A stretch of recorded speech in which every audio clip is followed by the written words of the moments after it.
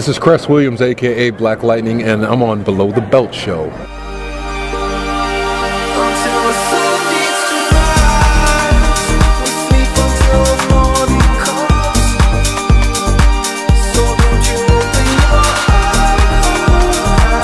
Al Soto here on location, Washington, D.C.'s Convention Center for Awesome Con 2018 on Below the Belt Show. When do you think will be Christian's turn for a WWE Hall of Fame? Uh, that's not my call. I'm not worried about it. Seems like a lot of people are worried about it, but I'm not one of them. I'm here with actress and voice actress Janet Varney. We'll hopefully see her in the Marvel Universe or DC Universe. Yeah, that would be Or awesome. why not Game of Thrones? More diversity in Game of Thrones. Yes,